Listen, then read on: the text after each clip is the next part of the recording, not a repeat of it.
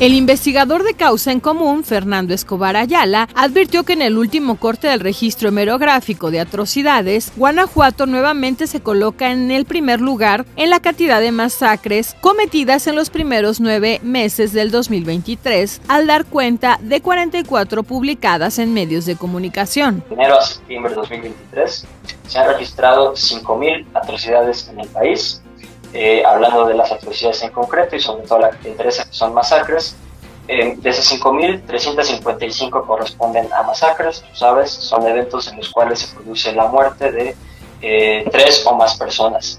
Ahora, yéndonos al caso concreto de Guanajuato, pues decirte que durante estos últimos meses, desde de septiembre de este, del pasado año, Guanajuato es el segundo estado con más atrocidades registradas. En el caso concreto de Guanajuato, al mes de septiembre, se encuentra en segundo lugar nacional con más atrocidades registradas solo detrás de Chihuahua. Ya sabes, los cadáveres, eh, si no son producto de eh, pues del accionar de ráfagas o de rapagazos muy fuertes que acaban con la vida de muchas personas, también es muy común que aparezcan, desgraciadamente, ¿no? cuerpos con signos de tortura, eh, vinculados con algún mensaje que haga referencia al crimen organizado. Entonces, pues, todo parece indicar que eh, buena parte de estos asesinatos longitudinales que se comentan, pues tienen que ver con enfrentamientos o con disputas entre organizaciones criminales.